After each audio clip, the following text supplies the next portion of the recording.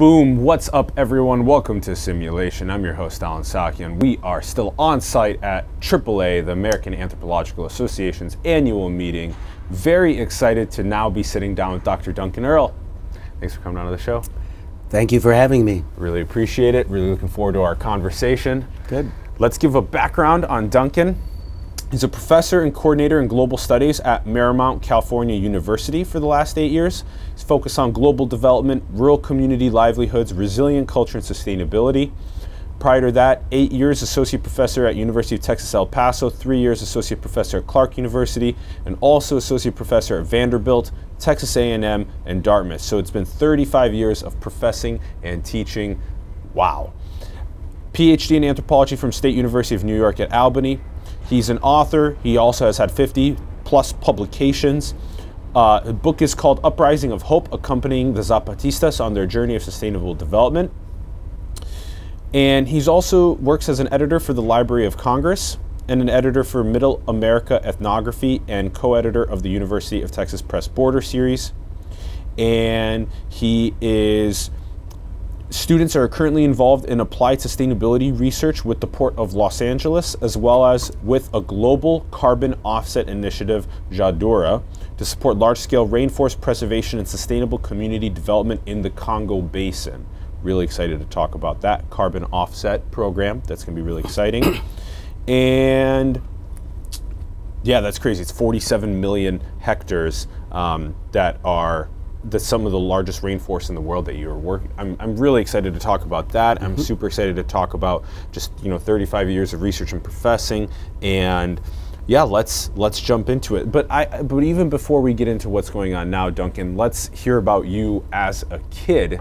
Okay. How the heck did you get involved in anthropology? Well, I did have a leg up in that uh, I was a, a, large family that was raised in the countryside in upstate New York, right next to the, the Onondaga Indian Reservation. So I went to high school uh, with about a third of our school was Haudenosaunee, as they they call themselves, part of the Iroquois Six Nations. A third of your school growing up was a, a Native American tribe? Yes, yeah. Whoa. Yeah.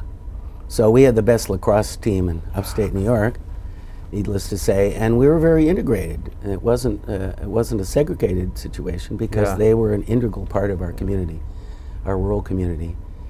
And my father, who was a professor of landscape architecture at Syracuse University, he uh, had been a kind of a bum artist in the 30s in Mexico, and it was uh, got it was part of the muralist tradition of Diego Rivera and Siqueiros and them and actually worked as an assistant to Rivera for some time when he was painting the, the opera house in Mexico City.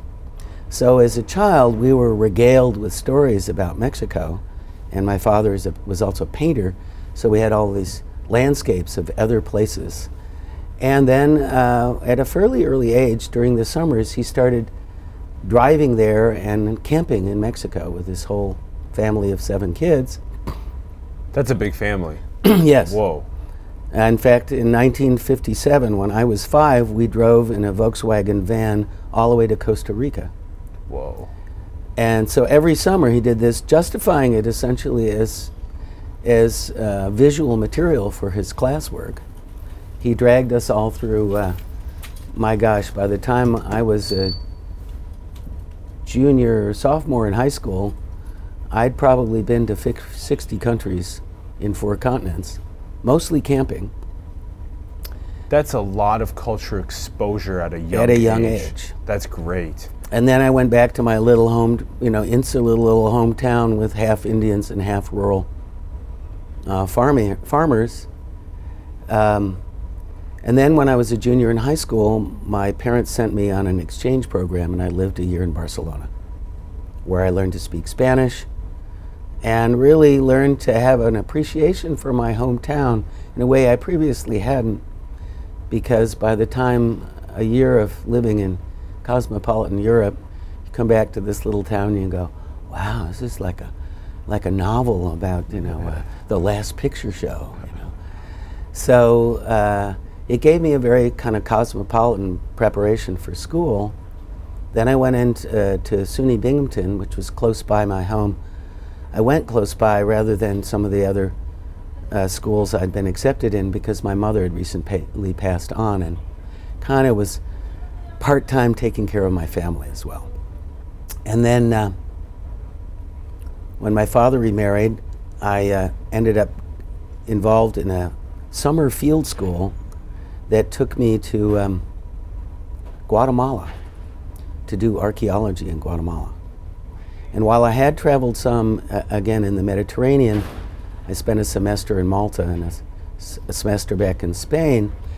The summer Guatemalan experience was new for me because unlike say Egypt or other places where the contemporary people are very different from the ancient people in highland Guatemala the Maya that were employed as workers on our archaeological site that I was an undergraduate grunt for, but which I had, I had an advantage over the others because I spoke good Spanish.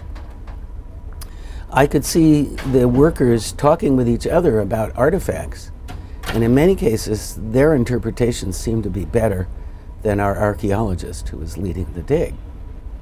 So I kind of left my romantic notion of exploring the mysterious ancient Maya and said, wait a minute, if I want to understand the people of ancient times, I'm not going to be able to dig up ideas or conversations. But I can learn the ideas and have the conversations with the ones who are alive now. Mm -hmm. And maybe that will illuminate more the past. While I was transitioning from archaeology to studying the present, Guatemala had a serious earthquake, 1976. And suddenly, thousands of people were without housing, thousands more had broken homes, you know, broken up houses, and or were in, in fear of having more houses fall. 35,000 people died. And I suddenly started to sort of shift a little more towards well, I want to learn from them about these esoteric cultural ideas, but I also really feel like, coming from a privileged place in the North, that I should be helping. So I suspended, or so I thought, my uh, graduate research to work for Save the Children in a project that they had in Guatemala in nine municipalities, 103 communities. And we were doing things like reforestation, community organizing, helping people improve their, uh, their housing so they wouldn't fall down in an earthquake. And at the same time, I got invited by the local Mayas to live with them, not with the gringos, not with the expatriate uh, uh, group that I was working with. And uh, I was a single guy. Uh, I was willing to live in somewhat less fancy environment to live with the local people. Since we were trying to help them, mm -hmm. I began learning their language, eating with them, going to the markets with them. And little by little, I began to realize from that why the aid programs were not working very well. Mm. And it was largely because no one was really asking the local people. Uh, what, uh, we were focusing on housing, for example. No one really asked the question, what does a house mean? We know what the physical object of a house is, and that's what we were all focused on. But Mayan houses are not American houses. Mm -hmm. They have distinctly different meanings. Mm. They're temples for uh, the family, especially if the father is a shaman and the mother's a midwife, as mm. in the case of the household I was living in. There are also granaries, places where people store their corn and they point out that corn needs more babying than people. Mm. You know, he said, "Oh, uh, one woman said to me, "Oh, my husband, he can go sleep in the cornfield if he's been out at the party and doesn't make it home." And I just go out and da at dawn and put his hat on his head so his head, his brains don't fry in the sun. But corn has to be taken care of. So we were completely misoriented because we were thinking of houses as we think of them as places to store our stuff in our crash pad. Mm -hmm. Whereas they were thinking of them more as a religious place and a place to store next year's seed mm. corn. Mm. And uh, women uh, administratively kind of own the house and the men own the field. So when we were giving courses to men about improving the, how to build a house, we didn't realize we were teaching the wrong people. Mm Because since men owned houses, we figured those were the people who would make the decisions about houses. This was not the case. Men decide about corn, women decide about houses. And in the Mayan language, there, Quiche Maya, the name for your wife is Rahauha, which is your house owner. Mm-hmm. Which, had we known this at the mm-hmm. start, yeah.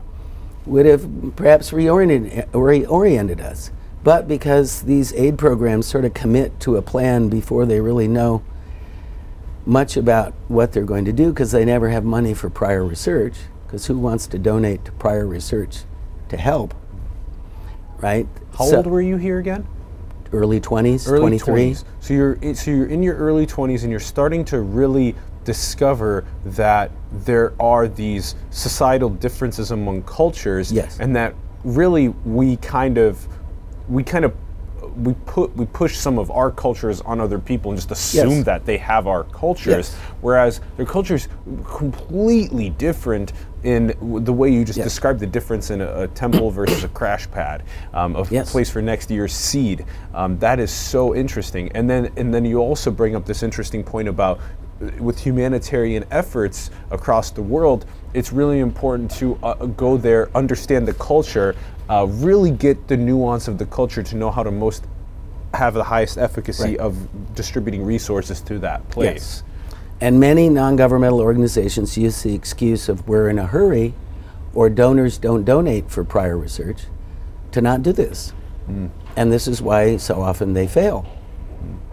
And I watched this fail, and the more I told them about this, how this was not working, the more they marginalized me. Mm right? It's because this was a threat to, mm-hmm. to their livelihoods and their operations.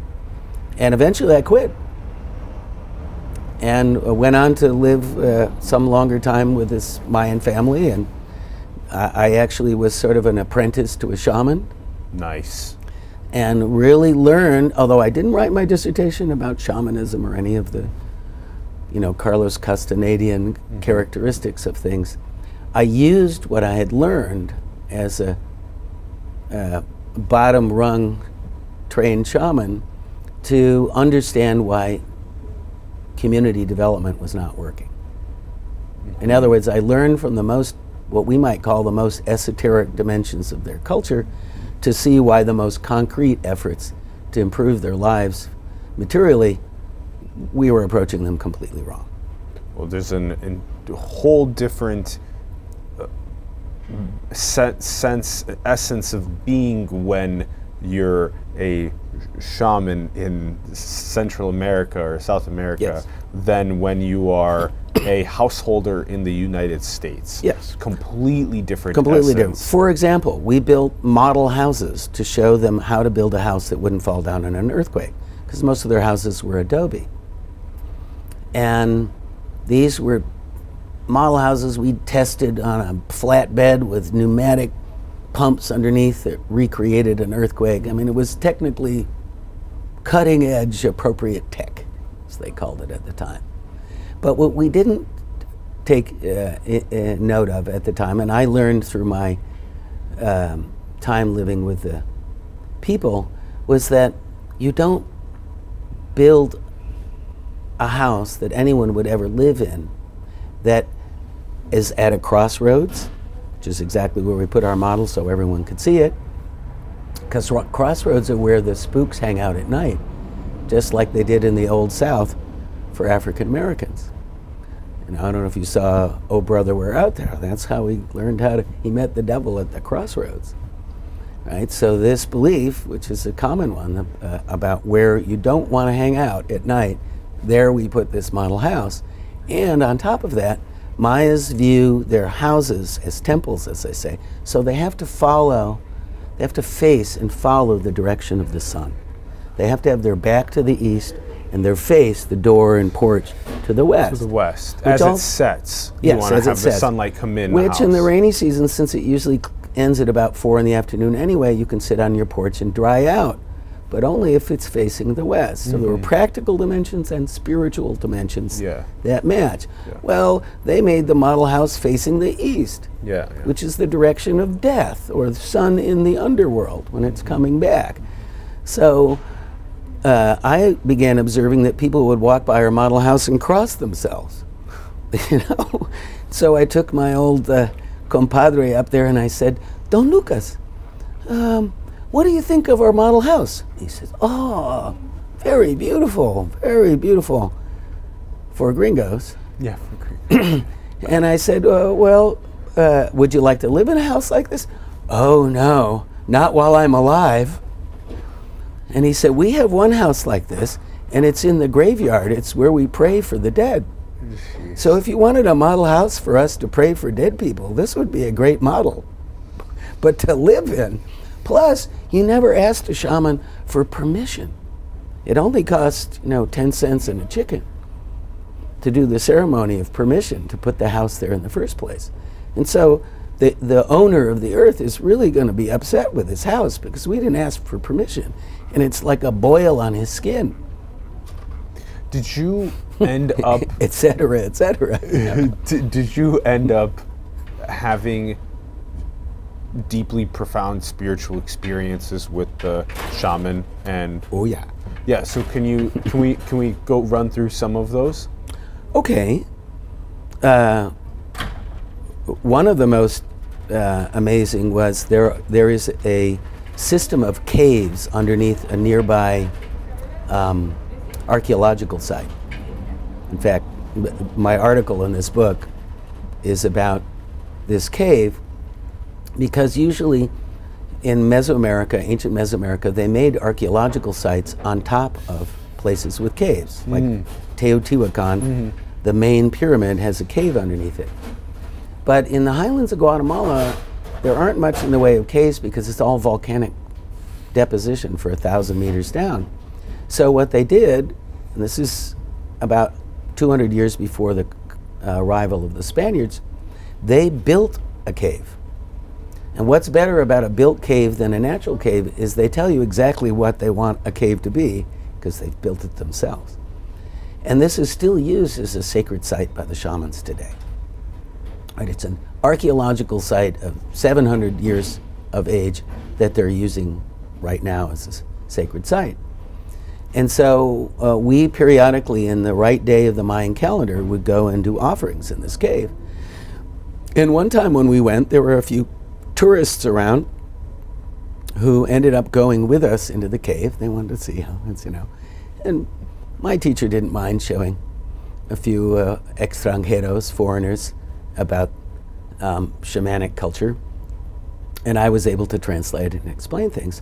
So while we're in there, what are you offering uh, we're offering incense, copal incense, Okay. which is from a special aromatic tree, the oldest incense in the New World. Um, also, um, the resin of pine trees that are tapped, a certain kind of pine tree, Cool. and uh, candles and flowers. Okay. Because the the the uh, concept their concept is that we are in one world and there's another parallel world. And in that parallel world are the dead the unborn and the great heroes of history.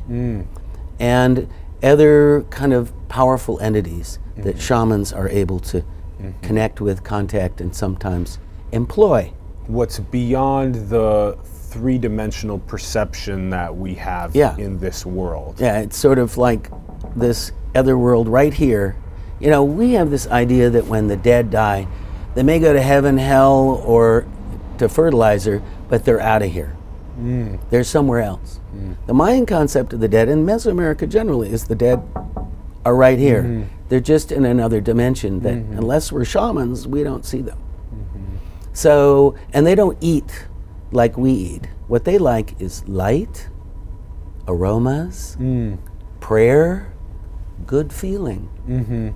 Which, interestingly enough, this is a muscle. It's like when you go and shoot a basketball or you're an author or whatever you're practicing, the more you practice it, the better you get at it. So the Yes. more that you practice the ritual of connecting to uh, the dead um, to go through this process, the better you'll get at it and the more you'll be able to effectively communicate Right. with what's going on in that area. And amongst the Maya, the communicator, the connector between shamans and this other world, are a little dwarf like spirit called um, Sakikoshol, means white sparker, or uh, like flint spark. He's the flint spark guy. And uh, he he's, looks like a child. He's dressed in a little white uni- a red, red or white uniform, a little hat, and he has a little axe that's his sparker. He's danced in one of their um, ritual dances. They they reenact him, and he's uh, so any shaman has this little duende, this little spirit who connects him to this other world. It's also represented in his medicine bundle. So we're in this cave, and, and with our uh, medicine bundles and our offerings of flowers and candles and incense, and And what are the medicine bundles? well, th- those are the the the. Um, when you're initiated as a Mayan shaman, you get a um, a, a series of 200 seeds, um, erythrina, what we call the mescal seed. Uh huh. They're, they look like black beans, but they're bright red, Uh-huh. and they're poisonous, Uh-huh. so they never fall apart or degrade. And and with that, crystals and other things that you find during your initiation. In other words, it's like um, the, all of these seeds and crystals and so on are used to count out the days of the Mayan calendar. So it's your counting bag in a way. Uh, because and is there plant medicine used as well? Oh yeah. Yeah. There's herbal medicines and there's non-ordinary medicines. And then which um, plant medicines are used? Uh, Mexican marigold or uh, Tagetes lucida, uh, they call pericon. It's a natural aspirin, but it works slower, but it's more gentle on the stomach. Whoa. Uh, and 200 other plants, uh, but I'm just doing Yeah. that one because it's Yeah. where I. That's the first medical plant I learned. It saved my life when I was got very sick there. Anyway, um, and the midwives know about those plants. The shamans tend to work in the non-ordinary world, and then the midwives or people who deal with bone setting, they do all of the physical healing. Hmm. Because the idea amongst the Maya is when you get ill, you need to have physical treatment, you have need spiritual treatment, you need sociological treatment. Who have you been fighting with? Yeah. and you need sort of psychoanalytic treatment. That illness is a total illness, a and healing illness, is a total process. This is not just a physical thing. This is Right. who are you talking to? What Yes. kind of a cultural setting are you Right. actually? Did you have an argument with someone? Yeah. Yeah. You know, are, are you and your cousin fighting about land inheritance after Uncle Uncle Jose died? because that's going to cause lots of stress. Yeah. so, um, Is this a majority of the kind of like the 20s for you? Is this study, and then did you also end up taking this into the next couple of decades? oh, oh yeah. In fact, uh, I I still do divinations. Yeah. I mean, I, I ended up having to do a divination for a Hopi woman because her husband was a Navajo, and they didn't trust either the Navajos or the Hopis to do spiritual healing Whoa. because they're in conflict. So they brought me in as an outsider to do the healing process. And then is this a lot of what you've been teaching the last? No. No. No. I don't talk about this in the classroom at all, Interesting. or in my publications. Interesting. Because why? Because the Mayas explained to you very clearly, you didn't earn this. You know, all my publications I earned through re- hard research and so on. But I didn't earn my divining talent. I was born with it, according to them. Huh. And they knew about it through divining that I needed to learn this. In uh-huh. fact, I needed to learn this if they were going to throw me out of the community. Yeah. Yeah. Because I'd be a spiritual loose cannon and I Yeah. might do something. Yes. I might whammy somebody without knowing it. Yes. Something like that. So it's been part of my personal life. It has guided my anthropological life.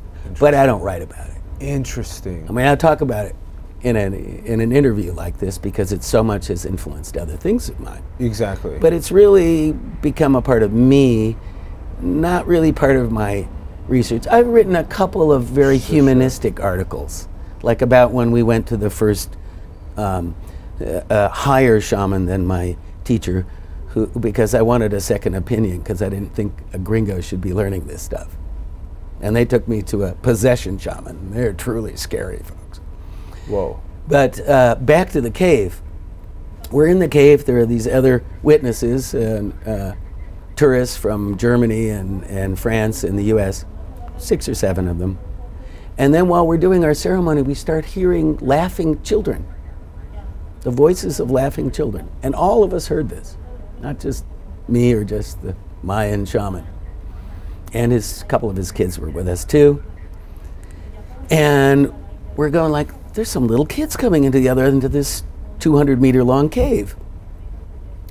And we hear them getting closer and closer, and then when they're just about to come around the corner where we could see them, silence.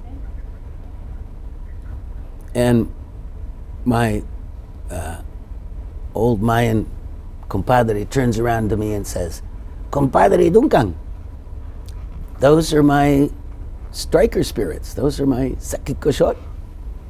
They come to, to uh, connect me, you know, to, sort of to connect like tele telephone to the other side, right? Or telegraph to the other side. And we're all going, yeah, no, it was probably a school group that came in, you know, and then turned around before they got this far. They saw the smoke and decided to leave. And so the tourists fanned out over that whole site trying to find young people. There was nobody there. We asked the guy who takes tickets at the entrance. No school group, no children have come here anywhere. And we were all left with, you know, dee dee dee dee. Mm. who were those voices? We all heard those voices. Those were the kids that help the shaman connect to yes. the other side. They're like little miniature people that fly around and help the shamans do mm. their stuff. And they're the ones that give the knowledge to you when you're divining. Because divination is not like about what you know, it's about how empty you can become. It's how much you're not there so that the non ordinary guides your hand. Interesting. So if you can get past the ego that's so in control of this mm -hmm. of mm-hmm. this body, right. and if you can kind of treat yourself more like a channel yes. to receive, yes then you can really tune into what right. is coming through. So I appropriated the shamanic vehicle to understand my world, Mayan world especially, better, but not as a vehicle for tenure and promotion. Not as a vehicle for writing up articles that would get me a mm-hmm. better job in my discipline. That seemed wrong to me, mm -hmm. ethically. I feel as though even though you became more spiritual and very understanding of a lot of the shamanistic practices, I'm one of the I feel strongly about the integration of spirituality and mysticism with science mm -hmm. and individualism and collectivism. And so, if we were to I'm be there. able to strongly merge those, because that's why I asked you if you were passing along some of that to your students. And so, shall we? Should we venture into some of the some of the dissertation? How'd you get from there to the dissertation? So yeah. I write my dissertation essentially on why community development without prior depth research is a waste of time and money. That was essentially my dissertation. But I thought I was going to only do it on Highland Guatemala. But in the middle of that comes the political repression of the late 70s. And I find myself having to flee Guatemala. Not only is my life endangered, and this is during, as soon as Ronald Reagan got into office here, the repression started happening there. And when was the earthquake?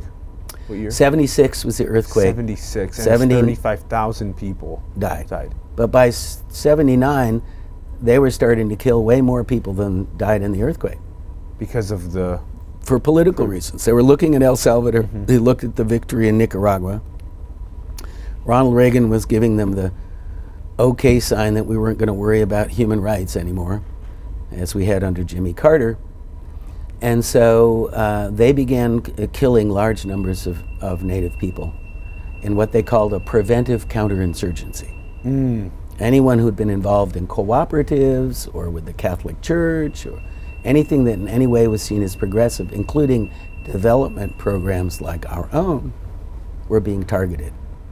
In the end, they ended up in about two and a half, three years killing something in the neighborhood of 200,000 Indians. Whoa. Mostly by hand with machetes. Jeez. Uh, some they burned in churches. They put everybody in the church and set it on fire.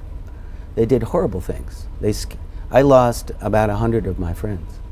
Some of them were skinned alive. So I suddenly, in the midst of my spiritual situation, got a real political slap in the face and had to flee because have, seeing a, a, a, North American talking to an Indian could le lead to an Indian die, to a Maya die. So and I, it was one more time. It was a fight in the late '70s. It was a count because they wanted to prevent an insurgency. Yeah, there was some rebels in the northern part of Guatemala uh -huh.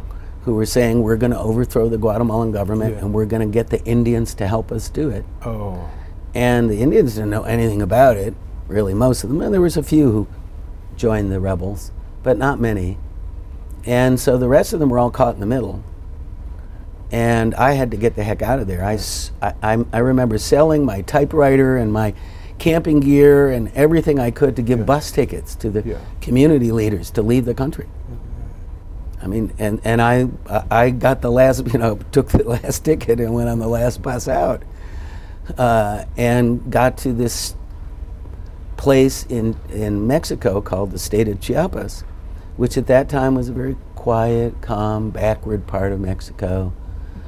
And I came across while I was there through a third party uh, a guy named Gary Gossen, who was a professor from previously from Harvard, who was teaching at Santa Cruz, who was doing a research project in Chiapas.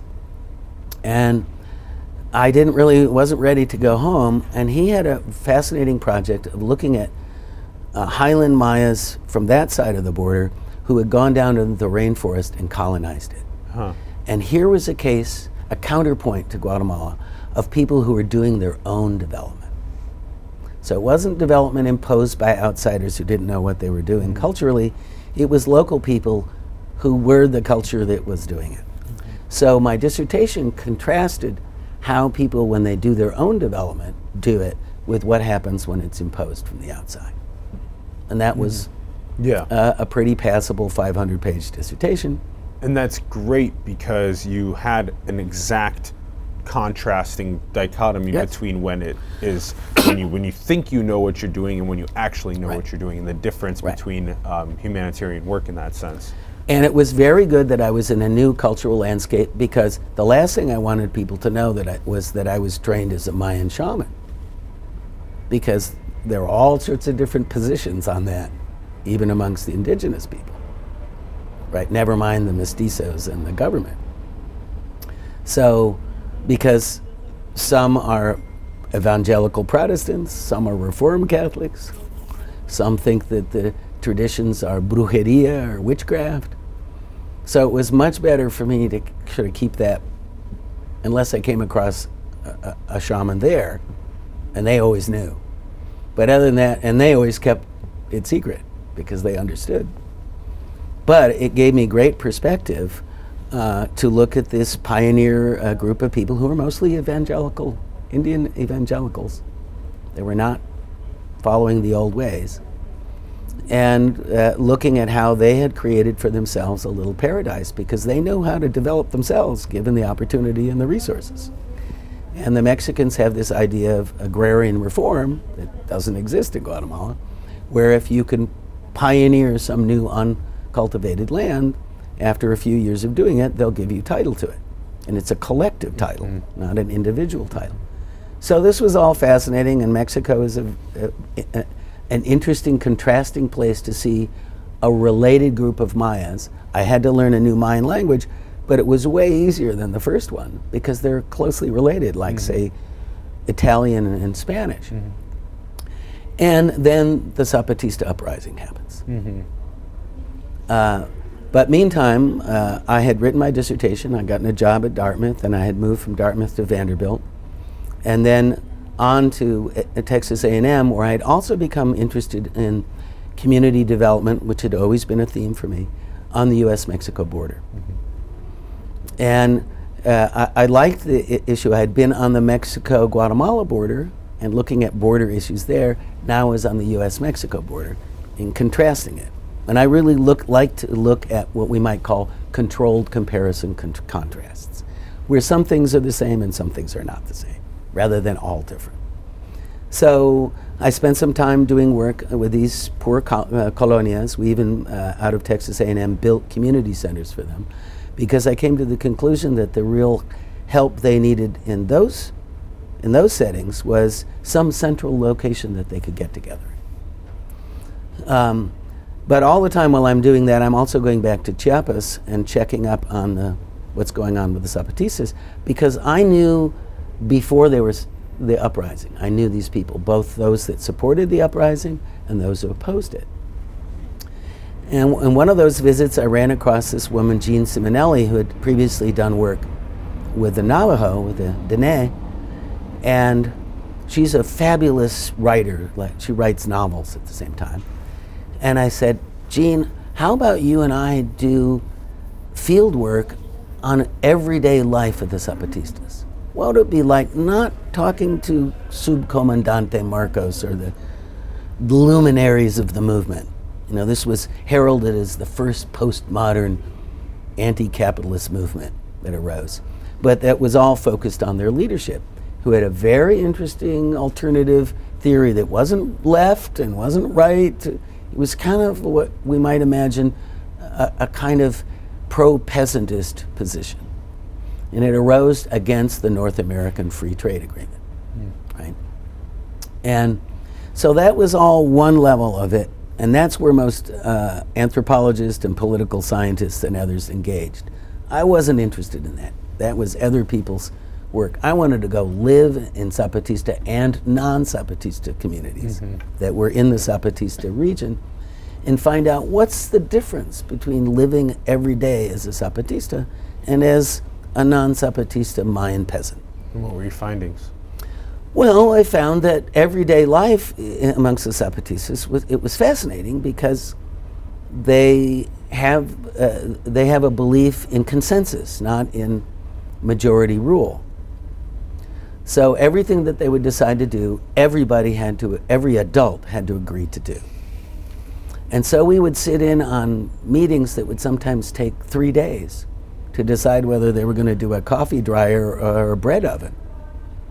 But in that process, they were learning the process of everybody being engaged in their own self-governance. Mm -hmm. You know, completely opposite of here, where governance is so distant from us. Mm -hmm. You know, and good luck with that letter to your senator. Uh, whereas here, people had taken on the processes of governing at every level, at the village level, at the regional level, and at the top, based on whole levels of consensus. Mm -hmm. And they also were being very positive to their enemies. They literally loved their enemies. They would pe have people who condemn them for joining the Zapatistas, and then they come and leave them a plate of food. Mm. They, they enacted the best of liberation theology mm. on a daily basis. Love your enemy, you know, your, your, uh, turn the other cheek. Uh, we're all the same under God. Uh, and uh, they saw in these Christian teachings, which one could say were originally foreign to them, they kind of turned them into a Mayan revolutionary document. So this was utterly fascinating to me. And uh, uh, Jeanne and I wrote this book, which we wrote like a uh, historic novel with dialogue, with uh, you know, uh, uh, character development, page turner chapters. And we even put a chapter about each one of us so that we wouldn't have the postmodern authorial voice problem because we said exactly why we were doing this. And we wrote it in such a way that a, a freshman in college could read it. Mm. which were exactly the attitudes that we also found that the Zapatistas wanted us to promote, that this wouldn't be some esoteric book that you need a very large anthropological vocabulary to understand, but something that anyone could read. I like, I like that, that we're all children under God. Yeah. That we're all born from the cosmos, and here we are finding ourselves as stewards of Earth. And how yes. do we work together? how do you love people that, yeah, even if they have an opinion that contradicts yours, how do you work things out through a consensus? Yeah. Yeah. And all of this showed me a model of community development mm-hmm. that they themselves had devised for themselves. For an example, one of the great problems in community development is how do you develop female leadership? Right? If women have to run the household as administrators, the reason why men amongst the Mayas are the, uh, end up being the leaders is the women don't have the time, right? Because they have all these other responsibilities. So, what the Zapatistas were able to do is first get the men to get more involved in taking care of things in the household. They would have these meetings only with women, leaving the men at home mm. with the kids. Mm-hmm, mm-hmm. So they had to do it. Mm-hmm. And then, second, they insisted that in Zapatista areas they have male stores and female stores. Now, these are just rural stores that sell nails and boots and barbed wire and tomatoes and baby clothes, but they decided that they should have ones for men and ones for men. And as much as the first world feminists didn't really get this, the reason was because once women had stores of their own, they developed their leadership yeah. outside of the reach of men. Yep. So they didn't have to deal with male insecurity about women developing leadership mm-hmm. because it was all women. Mm-hmm. And it turns out the women who were the heads of these stores became very often leaders. Yeah. Now, I would have never thought of that. That's very In fact, cool. it would have run counter to what we think about segregating men and women. Yeah, so a segregation although short term. To reintegrate, to but women with more power. With more power. That's very right? interesting. It was brilliant. Yeah. And so rather than be someone trying to impose development on people as an outsider with donor money, I was now a student of their own development. So you can see how this made perfect sense for me. Because here I was getting a lesson, and what happens when people really have the power to redesign their own society for themselves. What would they do? And they had, yes, they had help from non governmental organizations and international solidarity and yada yada. But the way they set up their stuff was to solve the problems that they themselves perceived. And so we wrote this book on an uprising of hope because we thought here's a, an example of, of uh, how people do it for themselves and uh, from which we could learn great lessons. Right? What were the other great lessons that you learned about how they were building their society okay. that we could learn from? Um, that the process is, is as important as the product. How you come to a decision about something is really important because you don't want people going around saying, well, I, I wasn't I didn't support that, right? Because peasant societies, they're poor.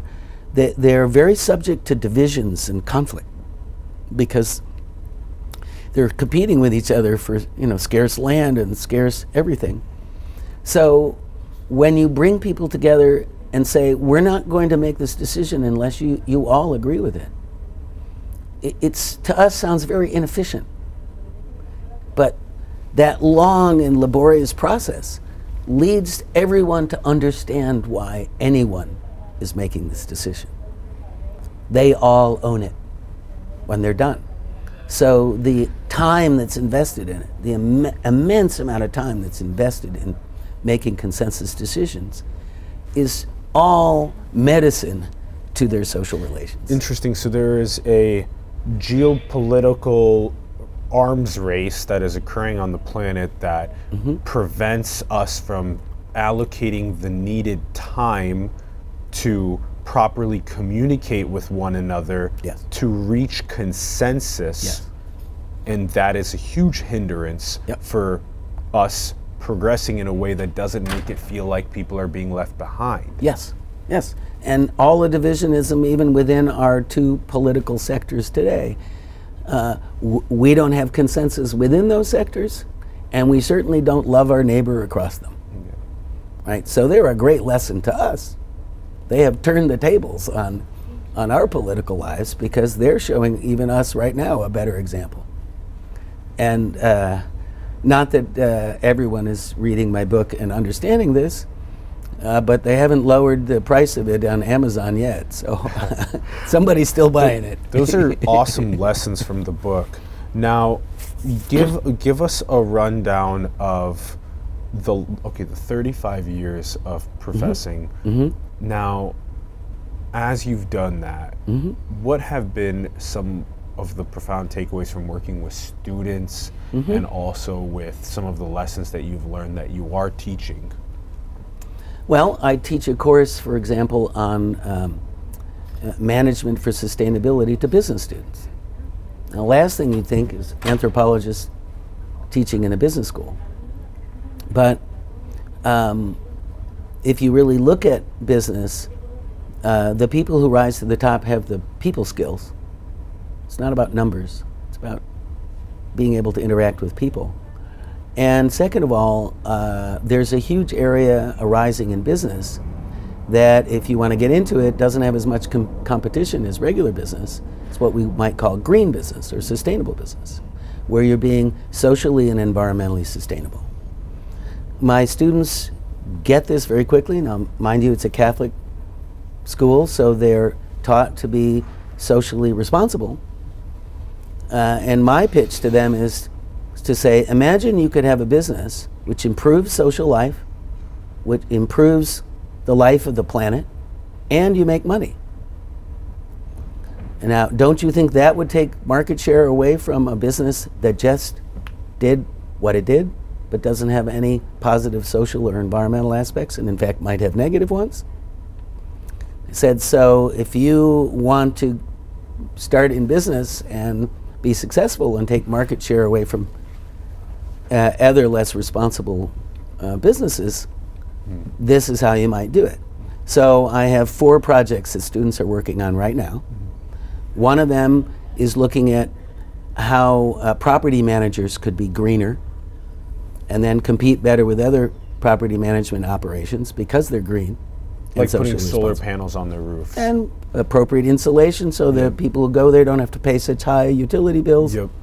et cetera, et cetera, et cetera. There's a hundred things that an average building could get better if it were greener. Awesome. mm-hmm. So one's doing that as he's an intern in one of these property managements. Mm-hmm. And he has two other students from my class helping him by mm-hmm. researching the competition cool. and looking at how to make a building greener. Cool. The second group is doing a Craigslist for our community, our, our student community, mm. and, and alumni and so on, so that the community recycles internally to itself. Mm -hmm. Mm -hmm. So you build community through exchanging goods mm -hmm. within the community through a, a, a university-based Craigslist yeah. that they have actually finished in this term. Mm-hmm. The third group is looking at electric golf carts to replace cars in beach communities mm-hmm. in LA, mm-hmm. and that's going great guns. In fact, they have too much work at this mm-hmm. point. Mm-hmm. They'll never finish it all by the end of the term. And that may be a new popular modality of transit in yes. smaller communities. That doesn't electric. produce greenhouse gases, yes. that uses less energy generally, and is more appropriate for the environment that the, the setting that they're in and then the fourth one is taking the ideas that I've been using in my Congo project that we haven't talked about on carbon offsetting and applying it to Mongolia. I'd had several Mongolian students previously. I learned about their problem of that climate change has undermined the migratory patterns of their herding so that half the herders are now in a what we call in Latin America the circle of misery around the capital city and but they don't want to be there. They'd like to go back and raise animals in the countryside, but they don't really know how to do it anymore because climate change has messed up the patterns. So their project, and it's a project that we hope to follow through on, is to figure out how we might through through various technologies map in real time where the weather patterns are operating and get the herders to be able to go back uh, out on the land. How do we pay for that? Through carbon offsets. Basically, a lot of people don't know this, but gra- traditional grasslands, like the p- old prairies in our, our uh, west, Midwest, the steppes of Mongolia, uh, Kazakhstan, Tajikistan, and the savannas of Africa, which, by the way, are m- way larger than rainforests, absorb about half as much carbon when they're healthy as a rainforest, mostly in their roots. In fact, there's plenty of that going on right here in California. Um, but if they're undergrazed or overgrazed, they can end up producing carbon. So we have a financial incentive to optimize animal management in Mongolia to pay for them to do it right. That's great. And it can be done in such a way that you can have investors who make money off of this. The people who are doing it can, can uh, make a profit at it. And yet, all of the people who are working on it also benefit from it. So they're working on that project right now, and I'm hoping to go to Mongolia in June. Uh, I got $60,000 for startup to actually do a private sector project of putting vast quantities of the grasslands of Mongolia under conservation for carbon offset purposes. Yes. So then these four projects Yep. are um, they're really powerful and they're diverse and that, that's Yes. that's great. And then they share with each other what they find. Yes, and it's good to have lots of young uh, minds working on the projects and sharing, like you said, and being an inspirational piece for other young people to get involved in similar projects. Yep. So, And saving the planet and helping people. yes, exactly, right? exactly. The, the, what they call the triple bottom line. Yep. People, planet, profit. Profit, yeah. People, planet, profit. Mm-hmm. Mm-hmm. Now, yeah, because planet or pe- profit without people and planet, it's ridiculous. Duncan, tell us about Jadora. Okay. When I was between jobs, uh, between my um, work in, at Clark and out here in California, I got called up by a former student of mine from Vanderbilt who was working for T-Mobile up in Seattle, and had, he had a good friend who has a business background and an environment background. And he uh, began uh, explaining to us about this notion of a carbon market. That there are markets, both volunteer and compliance markets, that uh, pay uh, for people to preserve environmental services that absorb greenhouse gases. So you could get this, for example, in California, the Yurok Indians of Northern California. They had a big piece of reservation filled with forest, but they didn't want to turn it into condos. They didn't want to cut it down and sell the wood, but it wasn't providing them any uh, resources, any income. So the state of California calculated how much those trees absorb in carbon and pay them annually out of the out of the California carbon market mm-hmm. to not cut those trees down. That's beautiful. And it comes in every year because every year they've absorbed that much more carbon yep. right? As a way of encouraging more trees or more anything on this planet Yeah. that will absorb the surplus carbon and other greenhouse gases that, as you know, we have way too much of in the atmosphere. The non-deforestation initiatives and the carbon offsetting initiatives. Right. So this guy, uh, very charismatic guy, um, also was love uh, loves uh, what we might call uh, charismatic megafauna. He likes big animals in Africa. Mm-hmm. And uh, Who doesn't? Yeah, like who doesn't? So, and was very upset about the reduction of their uh, ecosystems, so that they're dying out, not just from being killed for food or for their trunks or whatever, but um, that their uh, environment is shrinking. And the last big place where the environment has not much shrunk, where the last really intact rainforest in the world, uh, and the second largest after the Amazon, is the Congo River Basin. It's uh, about two thirds the size of the Amazon. Whoa. The Congo's the third largest river in the world, and uh, it's only about four percent cut down. Wow. Now, so sadly, for all the Yeah. wrong reasons, it's not cut down, like bad development, no roads, abject poverty and 10 years of war. But because uh, people have been distracted away from cutting it. Yes, down. cutting it yeah. down, and yeah. you know, basically lack of development that would have led to to, to the Amazon down. solution, whacking it for cattle and for soy and so on. Yeah. So uh, the only damage that's being done is local farmers cutting down, slash and burn, and planting very inefficient plants there. So we calculated that if we could get those farmers to stop cutting down rainforest for manioc and bananas and, and so on, and get them to plant those things on already cut land mm -hmm. with improved seeds and improved uh, methods, and then in the forested areas to plant coffee and chocolate, which are way, way, way more valuable plants. Mm -hmm. We could get them to become wealthy while taking care of the rainforest. Mm -hmm they would be incentivized to keep the rainforest because they were making lots of money from it. Mm -hmm. And meanwhile, we could make money to run this program and to expand it through getting the carbon offset mm -hmm. costs out of the carbon market.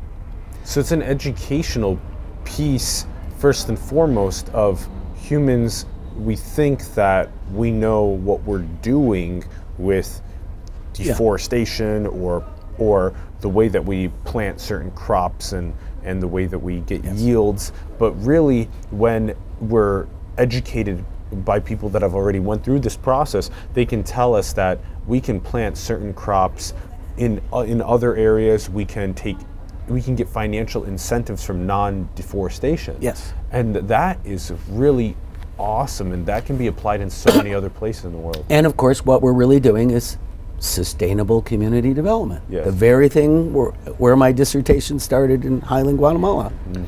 And so I knew immediately we could not impose a system. We had to come and learn from them what would work. For example, we realized that fish are very popular um, along with, unfortunately, bushmeat, all sorts of wild animals. But fish could be sustainably grown in ponds. So we now have over 40 tilapia ponds, and they're able to eat a wild food, but domesticated, yeah. which is a transition back into agriculture. Yeah. The reason why they're eating wild animals there is after the war, the only people that survived are the ones that ate wild animals. Now they need to transition back into a more sophisticated form of agriculture. So tilapia is one of the ways in. And the other way is caterpillars. Who knew these guys eat three months of the year, they eat caterpillars. And so we planted all the trees that grow these caterpillars all around the villages that were willing to be part of our conservation project. And now they get free protein a third of the year raining out of, their, of the trees that are around them. So they used to be in remote places in the rainforest and it put women and girls at risk to even to go out there. So we have learned from them the conditions of their lives. We use a profit motive based system so that they don't think that we're do-gooder charitable types that are going to disappear tomorrow. Uh, and we enter in and make a deal. You do this for us, we'll do this for you, which they understand perfectly. Mm -hmm. And we'll employ quite a few of your yes, best yes. and brightest to work in our company to make sure it happens. And oh, those guys who are the best hunters, we want them as our forest rangers. Yeah. We want them to hunt the hunters and we'll pay them twice whatever they were making hunting to do so. So that project is going ongoing. It's a little bit on the shelf right now because we're having political difficulties in the Congo. Mm -hmm. But we're hoping in the long term that will work. And that's why I'm now putting some energy into this Mongolia one. Uh, to say it another way, you know, you might ask, why am I not continuing to work with the Mayan people? I've learned their languages, I've learned in depth about them. They're kind of doing okay. Certainly the, the mm -hmm. Zapatistas are doing yeah. just fine. But I'm in a point at this point with the condition that the planet is in, that my feeling is I really need to put the last of my anthropological entities, uh, energies into trying to save this planet. Yeah, the sustainable community yeah, development. Right. And, and non-governmental approach has always been tiny, no scale. Mm-hmm. You know, we helped save the children. We helped nine municipalities. What about the other 2,000 municipalities? Mm-hmm. They're just going to resent us, mm-hmm. right? Whereas now in these projects, we're talking about large, large areas. Mm-hmm. Our target is 57 million hectares. Yeah. That you can see from outer space very clearly. totally. In Mongolia, maybe twice that, maybe a hundred million hectares. Yeah. Right? That is a huge amount of land. We're not owning it. Totally. We're just renting the right to conserve it and get the the uh, carbon offsets for it, which Yeah. we cannot get unless we help the people do it right. Yes. Right. So Exactly. we don't get paid unless we do development right.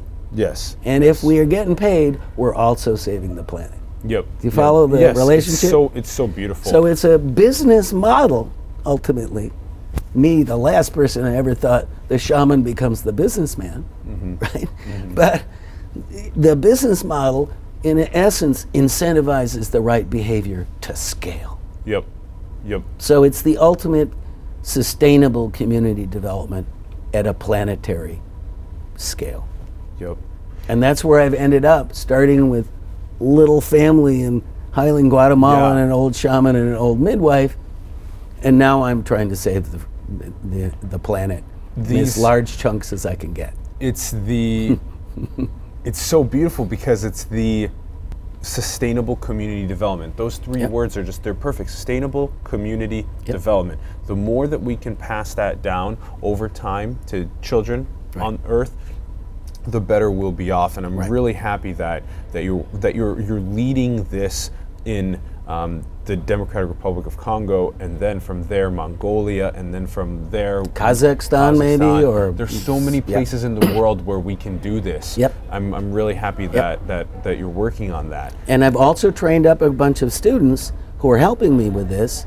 And when I go retire to my black uh, blue elderberry farm in in Northern California, they're all going to carry it forward. Exactly. So I don't have a feeling that it was, you know, my little one-shot deal and then it's done. And we have their generation and the following generation working on sustainable community development. Yes. Give us a quick bit on the elderberries. Okay. When I was still uh, fairly young and raising uh, little children, um, I, I ran into some health food hippie type of guy in Austin who said, if you don't want your kids bringing colds home from the daycare, try black elderberry. And so I, I went and bought them and made my own little syrup out of them and gave them to the kids. I never had colds anymore. And so uh, since that time, um, I have used it myself and have had very few. And I have spread the word to other people because it's not in the cold section of your drugstore. It's usually in the airplane travel section or whatever. Um, you know, Big Pharma does not want you to know there's a cure for the common cold. And uh, so my son moved up into uh, northern northern central California in an area that is basically rednecks and pot growing hippies. And so I've decided that once I retire, I'm going to move up there as well and try to bring those two warring populations together around a replacement for pot because pot eventually isn't going to be worth very much. Now that it's legal and big corporations are going to grow vast quantities of it, the price is going to go down. But I have taught a lot of medical anthropology along the way, and one of the things I know very well is A, it's all about the immune system. Uh, because uh, uh, um, people get diseases when their immune system is not up to par. Diseases that don't kill us, like I tested positive for TB almost every time I came back from Chiapas, but in a few months it was negative. Why? Because I have a really good immune system, because I'm fed well and I have good exercise and I live healthy.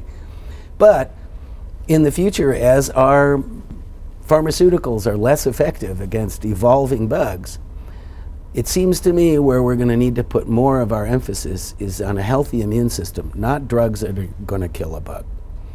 And it turns out the best kind plants, of huh? plants of the earth.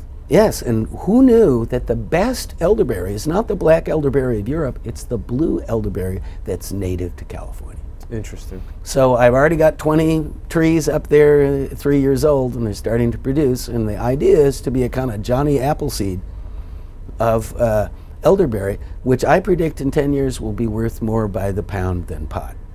Awesome. Blue elderberries. Blue elderberries. And that will bring the rednecks and the hippies together because around health and around revitalizing the rural countryside, replacing uh, trees that would burn in, in fires with blue elderberry, which is a bush and doesn't burn very well.